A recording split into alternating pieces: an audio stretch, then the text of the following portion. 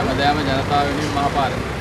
ජනතාවට ඇත්තටම පාන් කියන්න බැරි තත්ත්වයක් ඇති වෙලා තියෙනවා. ඉදිරි කාලය තුල අත්‍යවශ්‍ය භාණ්ඩ සියල්ලම ආසූසට යන තත්ත්වයක් තමයි අද උදා වෙලා තියෙන්නේ. මේවා අස්සේ හිතා මතා පැහැදිලිව සැලසුම් කරලා කොමිස් ගහන එක අපිට විශාල ප්‍රශ්නයක්. ගරු ජනාධිපතිතුමනි ඔබතුමා පත් උනේ මේ රටේ අරගලයක් එක්ක සමස්ත ජනතාව පාරට බැහැලා කිව්වේ මේ රට හොඳට හදපල්ලා දැන් ඇති උඹලා හොරකම් කරා කියලා. ඒ නිසා වහාම මේ හොරකම දූෂණය වංචාව කියන එක නතර කරන්න කියලා තමයි සමගි ජන බලවේගය අපි ඉල්ලන්නේ.